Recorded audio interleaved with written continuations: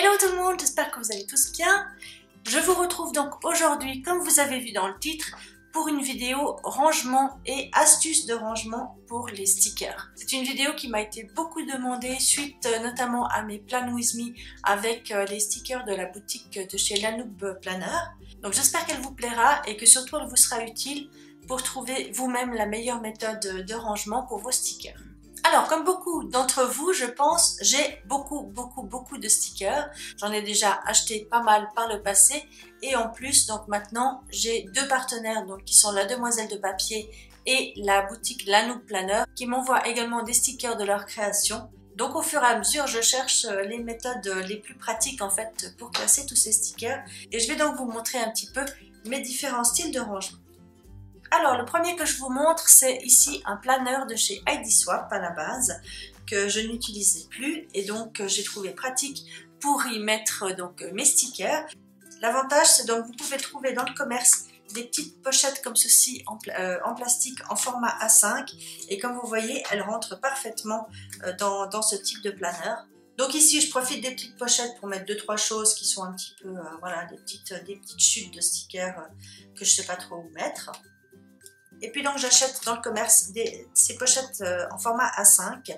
Alors celles-ci donc elles sont assez épaisses, elles sont de bonne qualité. Je les achète dans un magasin près de chez moi donc je ne peux pas vous donner de lien. Mais ça je pense que vous en trouvez partout hein, dans toutes les, les, papeteries. Et puis comme vous voyez euh, celui-ci est déjà bien blindé. Donc ici j'y range déjà ben, mes stickers de la demoiselle de papier. Ensuite, j'ai ici des stickers de la boutique Lido Spot sur Etsy, donc qui est une compatriote suisse. Je vous mettrai le, lien de sa, boutique en barre d'informations. Donc elle fait aussi des très très beaux stickers. Voilà, il faudrait peut-être d'ailleurs que je m'en serve un petit peu plus. Voilà, ensuite ici, ce sont des stickers, je crois, qui viennent de chez AliExpress. Ici, ce sont des petites, euh, des petites séries que j'ai imprimées sur... Euh, donc, vous trouvez des fois des, des, kits comme ça de stickers à imprimer sur Pinterest, par exemple. Donc, ça, c'est des que j'ai imprimé moi-même. Ici, euh, je ne sais plus, honnêtement, je ne sais plus exactement. Je sais qu'il y en a qui m'ont été envoyés dans des swaps également. Ça, si je ne me trompe pas, ça vient de chez Action. Ça, c'est du Prima. Voilà, enfin, il y a un petit peu de tout. Et puis à la fin, il y a beaucoup aussi de planches euh, kawaii. Voilà, parce qu'il fut un temps où euh, j'étais très très... Euh, voilà, j'étais très kawaii, enfin j'étais très sticker kawaii comme ceci. Et je décorais mes planaires pratiquement qu'avec ça. Donc il m'en reste encore pas mal. Le second système de rangement que je vous présente, donc c'est de nouveau dans un planeur. Ici, c'est dans un format euh, euh, personnel, donc c'est un planeur comme ceci euh, en plastique transparent que j'avais acheté à l'époque sur AliExpress et, que, et dont je ne me servais pas. Jusqu'au jour où j'ai également trouvé sur AliExpress en fait ces petites pochettes plastifiées donc pour mettre dans les, dans les planeurs format personnel. Et là, donc, j'y range des planches de stickers, donc comme vous voyez, qui sont en, longueur, comme ceci. Il y a pas mal de, stickers qui ont ce, format-ci. Donc voilà, c'est parfait pour mettre dans ces petites euh, pochettes en plastique. Vous voyez, donc là de nouveau, j'ai un peu de tout. Il y en a qui viennent euh, des États-Unis, il y en a qui viennent de boutiques près de chez moi, voilà, il y a, je crois que ça c'est du Action, c'est aussi des petites planches parfois qu'on m'envoie justement dans des swaps. Donc pour éviter qu'elles ne traînent partout, eh bien je les, je les stocke ici. Et puis j'ai encore quelques petites planches ici kawaii. Et j'ai encore quelques pochettes, comme vous voyez, pour en ranger. Voilà, ça c'est aussi bien pratique. Je vous mettrai également le lien euh, de, ce planeur transparent ainsi que ces petites, euh, petites pochettes, si ça vous intéresse de recréer un système de rangement comme ceci pour vos stickers. Alors j'ai ensuite des petits albums comme ceci. Donc à la base c'est vendu comme petit comme album photo. Hein. Celui-ci par exemple vient de chez Carrefour. Donc euh, là vous avez la couverture originale. Donc c'est des petits albums photos. Vous pouvez enlever donc la couverture avant et arrière pour y mettre votre propre photo, votre propre euh, illustration. Donc ici j'ai imprimé une petite illustration d'un planeur de Simple Stories parce que celui-ci donc contient toutes les planches euh, de, la marque Simple Stories que je reçois donc de ma partenaire la Demoiselle de Papier. Voilà, comme vous voyez, c'est un format qui s'y prête tout à fait. Et puis ces deux-là, je les avais commandés sur Etsy. Ils sont dans un format un petit peu plus petit, comme vous voyez. Je les ai depuis très longtemps, donc je ne pense pas que je retrouverai le nom du vendeur, enfin de la vendeuse. De toute façon, ça vous reviendra moins cher d'acheter euh, petit, ces petits albums photos dans une grande surface, justement style Carrefour, euh, Intermarché, etc., etc. Et puis donc dans celui-ci, j'ai des petites planches comme ceci, très kawaii comme je vous disais, que j'utilisais à l'époque énormément pour mes planeurs. Il faudrait que je m'en resserve un petit peu d'ailleurs. Et puis dans celui-là, il y a un petit peu de tout, je crois. Voilà, comme j'en ai déplacé certaines, c'est pour ça qu'il y, a des vides. Mais voilà, des petites planches comme ceci, donc là il y a un petit peu de tout. Et donc pour terminer, ici ce sont les deux systèmes de rangement que j'ai trouvé donc pour les stickers de la boutique Lano Planner. Quand j'ai commencé cette collaboration, j'ai cherché euh, le meilleur moyen en fait de, ranger euh, les stickers de cette boutique. Donc j'ai d'abord celui-ci, donc euh, ce sont des couvertures que j'ai refait moi-même.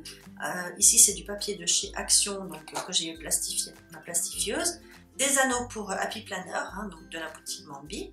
Et donc à l'intérieur, j'ai des pochettes comme ceci, plastifiées, qui sont en fait déjà pré-perforées, comme vous voyez avec ce type de perforation, donc euh, le même, euh, le même type de perforation que dans les Happy Planner.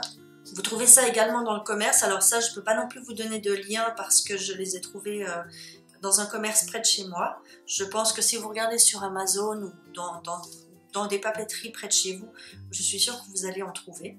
Et donc dans celui-ci, je range tous les kits donc, de la boutique de chez Lanoub. Donc ici, j'ai d'abord des die cups. Donc ensuite, avec l'accord de, de, Lisa de la boutique, donc euh, j'ai imprimé quelques dessins euh, de sa boutique pour pouvoir euh, faire des intercalaires comme ceci. Donc j'ai d'abord les kits donc par semaine. Voilà, donc ceci ce sont certains que j'ai déjà utilisés. Ici, voilà, donc ça ce sont les kits semaine. Ensuite j'ai ici les mini kits. Voilà, quelques mini kits Ensuite, donc, des petits kits ici mensuels. Et puis pour terminer, les kits pour mini Happy Planner. Voilà, donc je n'ai pas de mini Happy Planner, mais je lui en ai pris quand même euh, un ou deux. C'est avec ça que je décore en fait mon planeur en format B6. Et puis pour terminer, si vous avez suivi donc euh, les plans with me que j'ai fait ces dernières semaines, vous m'avez sûrement vu utiliser donc euh, ce petit carnet de, planches de stickers. C'est un petit carnet que j'ai fait pour y stocker les petites planches euh, de la boutique de chez Lanoub en fait, je cherchais un système de rangement qui soit facilement accessible parce que quand je suis en train de faire ma semaine et que j'utilise pas mal de ces petites planches, c'est pas très facile si elles sont dans des pochettes de, voilà, de la sortir de la pochette, il faut la remettre ou alors on la remet pas et du coup on en a partout. Après on sait plus où on en est. Donc en fait, je me suis simplement inspirée du sticker book de chez euh, Mambi, voilà, qui est celui-ci. Celui-ci est vendu par, euh, par Mambi. Euh, il est fait donc pour stocker les, planches de stickers qui sont vendues dans les blocs euh, de chez Mambi. Et donc, comme je vous disais, je me suis servi de cette idée pour créer mon propre petit euh, book de stickers. Voilà, donc à la taille des planches de chez Lanib. Donc je vais vous laisser maintenant avec le tutoriel pour créer ce petit sticker book et puis on se retrouve juste après.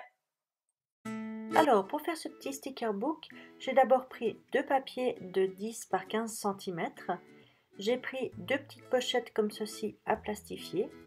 Il vous faudra des petites languettes de papier qui vont mesurer 14,5 par 4 cm de large, des anneaux pour appui planeur, une petite paire de ciseaux et puis une perforatrice comme ceci. Et puis finalement, il vous faudra une plastifieuse.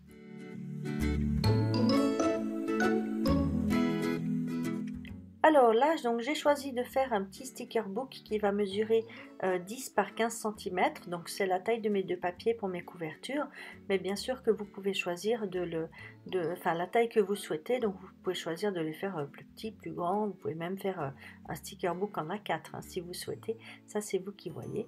Ensuite, donc j'ai juste fait une petite étiquette marque avec le mot sticker dessus pour coller ça sur la, sur la couverture. Et puis ensuite, je vais prendre donc mes petites pochettes à plastifier. Alors l'avantage c'est que celles-ci font exactement la bonne taille, donc elles sont déjà, c'est déjà, déjà, déjà des pochettes qui sont en 10 par 15. Voilà. Et puis je vais insérer ça dans ma plastifieuse.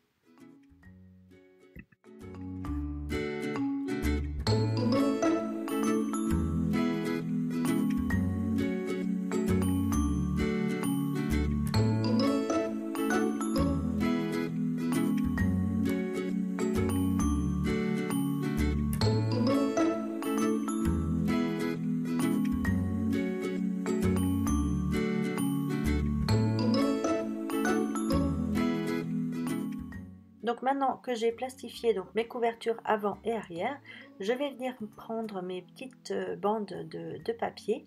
Donc elles doivent faire euh, la longueur de, vos, couvertures. Je les ai fait un tout petit peu plus petites euh, pour, pour, être sûr qu'elles ne dépassent pas, que ce soit quand même joli. Et puis étant donné que les, côtés, enfin les, que j'ai arrondi les angles de mes couvertures avant et arrière, je trouve aussi plus joli d'arrondir euh, les angles de mes, petites bandelettes de papier. Donc c'est ce que je fais. Et puis je vais ensuite donc utiliser ma perforatrice de chez Mambi pour, euh, pour faire perforer ces petites languettes. Alors ne vous inquiétez pas si vous n'avez pas de perforatrice Mambi, je vous montrerai juste après euh, un moyen pour perforer, donc pour créer ces petites perforations sans la perforatrice.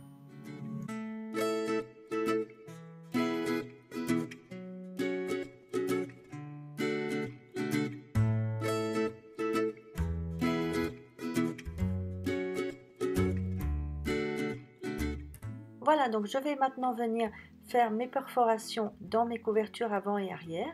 Donc pour ça, j'utilise une des petites languettes euh, qui va me servir de guide pour savoir où je vais devoir perforer parce que cette fois, je vais utiliser une autre méthode. Donc je vais venir prendre ma petite perforatrice donc, qui fait un seul trou et puis donc euh, là où j'ai fait mes petites, euh, mes, petites, mes petites marques, mes petits repères, je vais venir faire des perforations.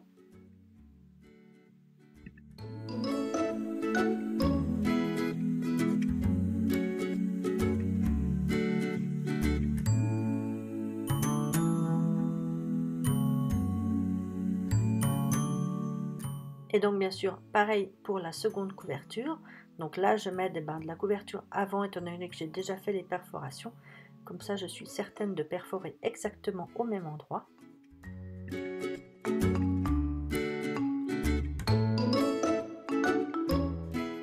Et donc ensuite, comme vous voyez, je viens prendre mes ciseaux et je fais deux petites encoches juste donc en face de chaque perforation.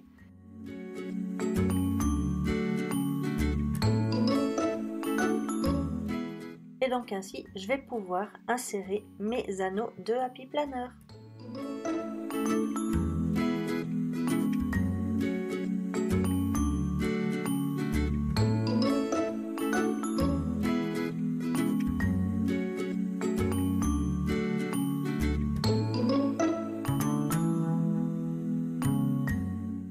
Ensuite, je viens donc mettre une bande de double face sur chacune de mes petites languettes alors moi je les mets donc euh, sur un seul côté pour pouvoir euh, donc euh, coller une seule, planche de sticker par languette. Mais vous pouvez choisir aussi de, coller donc du double face des deux côtés de vos languettes et ainsi eh bien vous aurez sur chaque languette vous aurez deux petites planches de sticker. Ça c'est à vous de voir ce que vous préférez.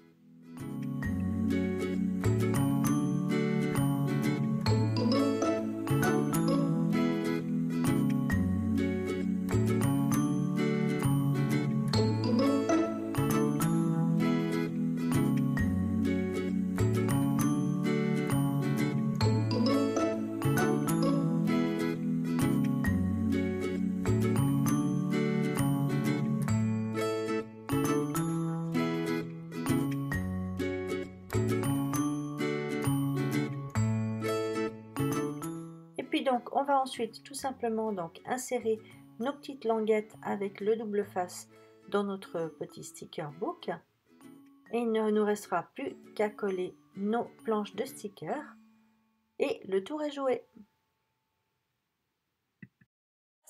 Et bien voilà, ce tutoriel est maintenant terminé. J'espère que cette vidéo vous aura plu et surtout qu'elle vous sera utile pour trouver le meilleur moyen de ranger tous vos stickers. Si cette vidéo vous a plu, n'oubliez pas de me laisser un petit pouce en l'air, ça me fait toujours plaisir. Et puis de vous abonner pour pouvoir suivre mes prochaines vidéos. Et puis moi, en attendant de vous retrouver très prochainement, je vous fais plein de gros bisous, prenez soin de vous et à bientôt. Ciao